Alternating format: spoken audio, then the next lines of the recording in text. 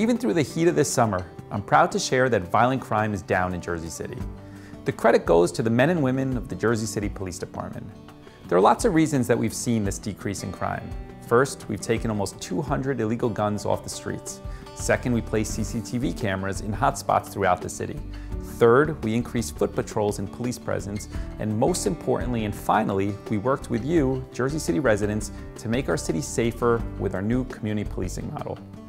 Public safety, and particularly gun violence, has been a priority for our administration.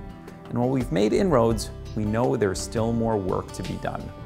And on that, I'll see you next week for another